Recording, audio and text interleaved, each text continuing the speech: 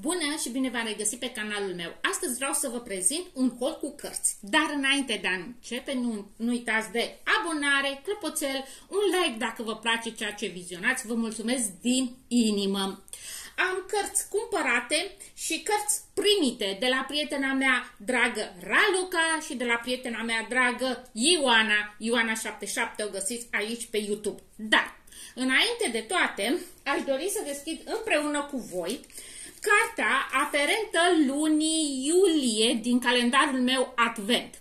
Deja citesc uh, cartea aferentă lunii iunie și din această cauză haideți să deschidem și cartea aferentă uh, lunii a șaptea iulie din acest uh, minunat calendar Advent.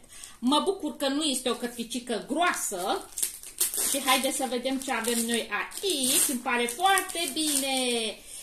Este un thriller scris de Kay Rede Matcher, Mistralul Ucigaș. Haideți să citim.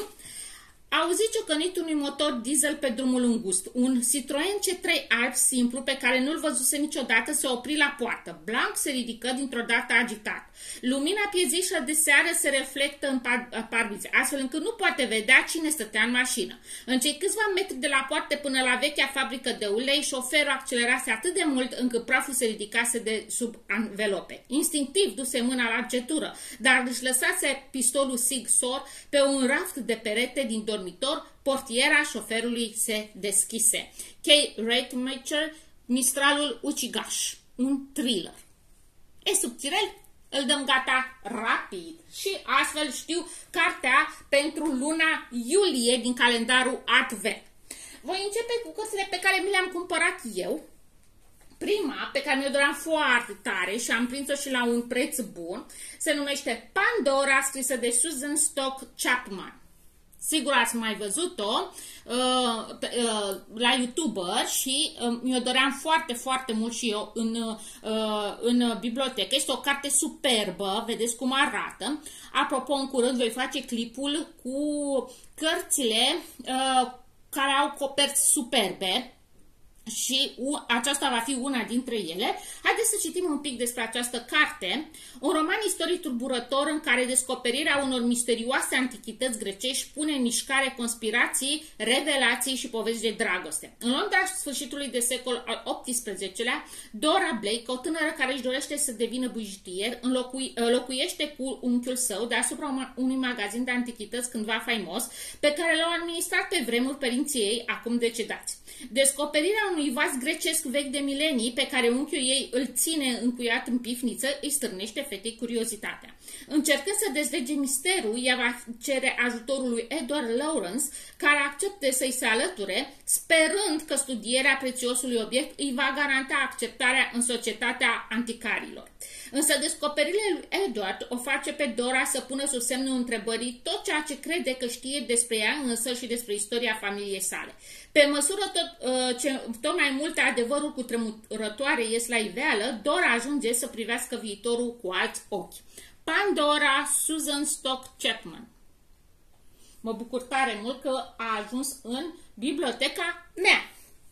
Și uh, Ioana, prietena mea Ioana, o găsiți aici pe YouTube, Ioana77, pe care o îmbrățișez, uh, Uh, mi-a recomandat o serie foarte bună scrisă de Lynn Austin.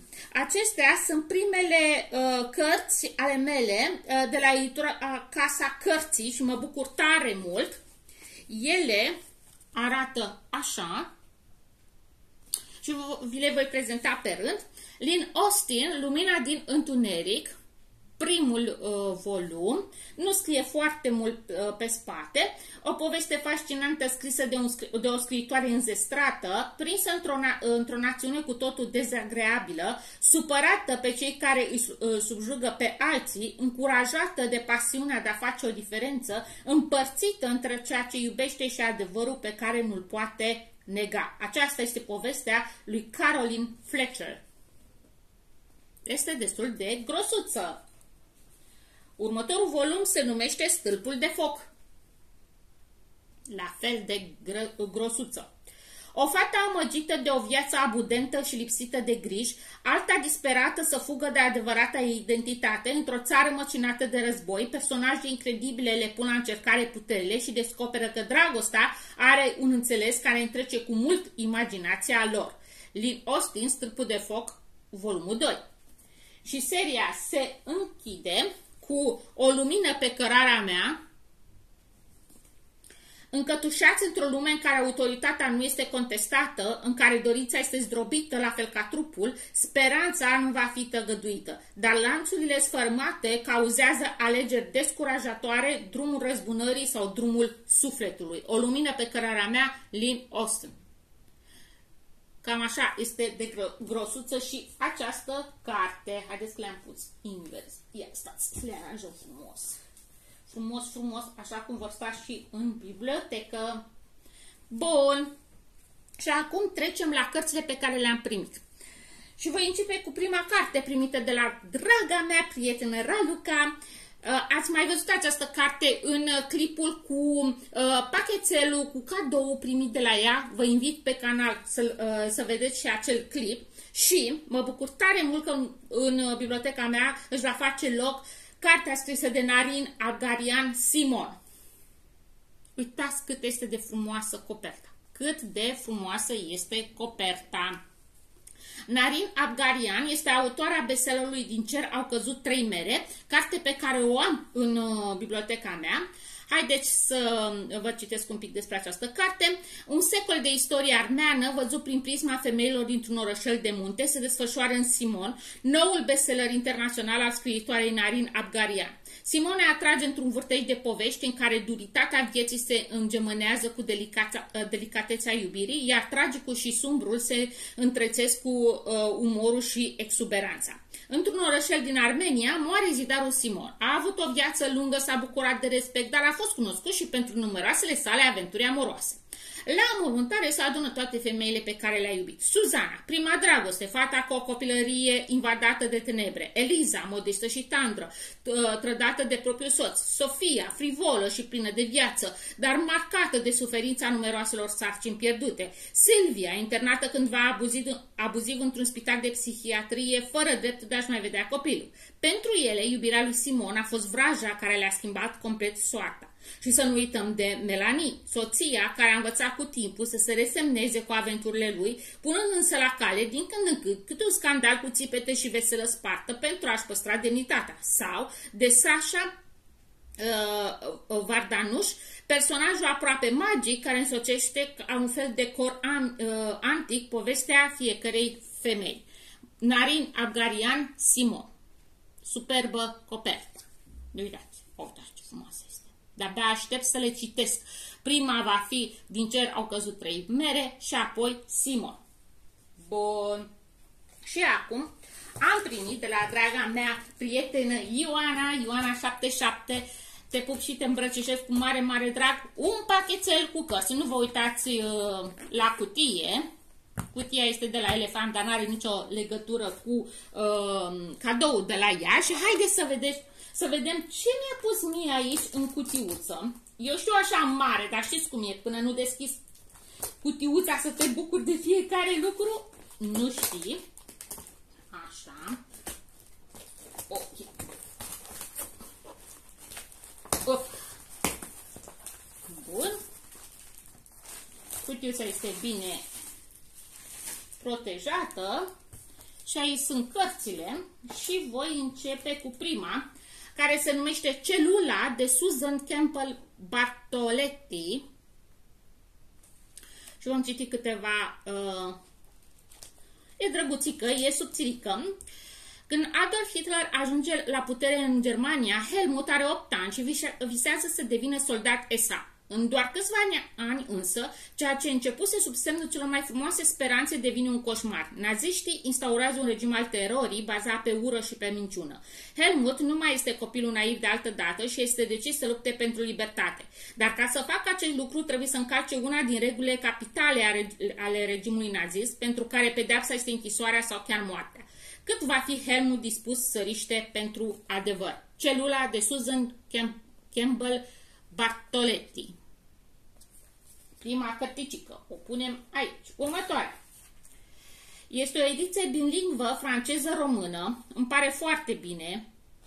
Adică, pe partea aceasta scrie în franceză și pe partea aceasta scrie în română.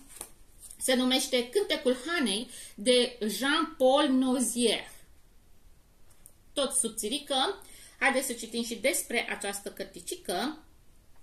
Luiza are 10 ani și este fiul unor emigranți din Polonia, dar se simte mai mult francez. Trăiește cu părinții lui în cartierul minerilor, dar își petrece tot timpul la cafe de, de zami, unde o ajută pe patroană cu mici servicii și comisioane. Este vara lui 1940 și clienții cafenelei vorbesc tot mai des despre război, dar Luiz nu simte amenințarea. Căderea Franței nu pare să aducă decât schimbări minore în viața oamenilor. Curând însă încep persecuțiile împotriva evreilor, iar tatălui Luiz are să-i facă băiatului o mătură mărturisire tulburătoare. Cântecul Hanei de Jean-Paul Nozier. Îmi plac că sunt cărți pentru copii. Uh, le voi citi eu și apoi le va citi nepoțelul meu. Mă bucur tare, tare mult. Următoarea uh, carte, care tot este, uh, este o ediție tot bilingvă, franceză-română, se numește Promisiunea de Gael Hassan. Arată foarte bine cărticica. Și haideți să citim. Sara este doar o copilă când pleacă din Polonia împreună cu mama ei și se stabilesc amândouă la Paris. Curând norii negri se adună deasupra Europei. Germania nazistă invadează Polonia, iar Franța este și ea îngenuchiată. Viața sub ocupația germană devine din ce în ce mai grea pentru micuța evreică. În timpul unei razii, mama este luată, iar Sara reușește să se salveze și ajunge în grija unor țărani normați. Fata se simte singură și abandonată, dar de trecutul ei o leagă o promisiune apăsătoare, renoită de-a lungul generațiilor. Își va respecta ea legământul, promisiunea de Gael Hassan. Îmi plac aceste cărticele, pentru că sunt bilingve. Nepoțelul meu o să învețe și franceza la școală, deci vor fi perfecte și pentru el. Îmi pare tare bine. Mai departe. Cum am devenit spioană de Florence Cadier, în toamna anului 1914, orașul Lille este sub asediu. Refuzând să asiste neputicioasă la cruzimile războiului, Adele, o tânără de 16 ani, se hotărăște să ajute armata franceză. În toiul bombardamentelor se duce la spital și se oferă să lucreze ca infirmieră pentru soldații răniți pe front. Curând însă începe să-i separă că face prea puțin și prin intermediul unui prieten este cooptată în rețeaua de spionaj condusă de misterioasa Louise de B, Sarcinile care îi sunt încredințate acum o fac să se simte tot mai utilă, dar pe măsură ce mizele cresc și misiunile devin din ce în ce mai uh, uh, primejdioase. Arată foarte bine această cărticică.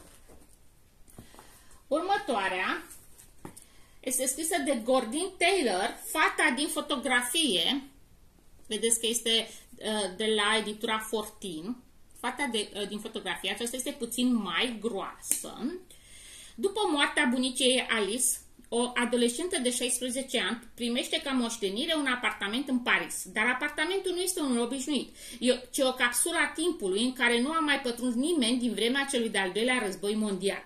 Alice află astfel că bunica ei avusese o soră pe nume Adalin, pe care nu o pomenise niciodată. Fotografiile din apartament văceșează o, o Adalin modernă, care merge la petreceri fastuoase alături de naziști, dar jurnalul ei, găsit de Alice într-un sertar, spune povestea unei tinere curajoase, membra a rezistenței franceze. Cine a fost Adalin cu adevărat? Și este oare Alice pregătită să dezgroape, să dezgroape trecutul familiei sale? Jordan Taylor, fata din fotografie, Bun. Mergem mai departe și avem aici de Paul Doswell Aslander din, uh, de la editura Booklet Fiction. Invazia trupelor germane în Polonia schimbă cu desăvârșire destinul lui Piot. Părinții sunt uciși, iar el este uh, internat într-un orfelinat din Varsovia, dar naziștii văd în el un Volkscoucher, un arian autentic desprins parcă din afișele tineretului hitlerist, care trebuie revendicat de națiunea germană. Astfel, Piotr este primit în sânul unei familii din Berlin și începe o, via- o nouă viață privilegiată. Sedus inițial de mirajul invicibilității naziste, el descoperă însă în curând ororile de care este capabil regimul și decide să-și asume cel mai mare risc posibil în Berlinul anului 1943, Paul Doswell Auslander. Și aceasta este puțin mai grosuță. Și aici am mai găsit așa o punguliță cu câteva chestii. Haideți să vedem ce sunt acestea. Sunt două brățări foarte drăguțe pe care scrie Happy Booklet.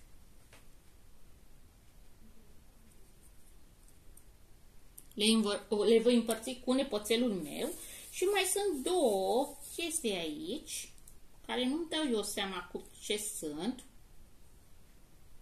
Hmm. Nu știu, dar tot de la uh, buclet e, sunt, dar foarte drăguțele. Cred că se lipesc. Da, nu mă pricep, mă uit pe urmă. Și aici, în uh, cutiuță, mai avem câteva, cred că caiete. Cutiuța este goală și după cum vedeți, uh, acesta este un caiet pentru cartea Cum am devenit spioană, adineau prezentată de, la, uh, de Florence ca, uh, Cadier și haideți să vedem ce este înăuntru.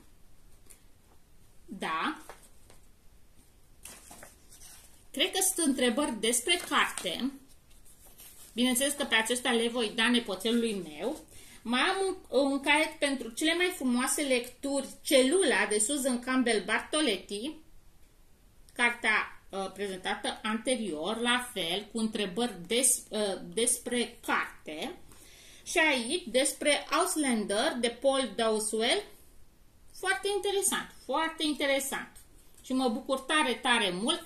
Aceste caiețele împreună cu cărțile uh, vor ajunge sigur la nepoțelul meu Mulțumesc mult prietenilor mele care mi-au trimis aceste cărți. Vă mulțumesc vouă că sunteți aici aproape de mine și sper că v-au plăcut uh, uh, cărțile uh, prezentate în acest clip. Vă pup și ne vedem data viitoare. Pa, pa!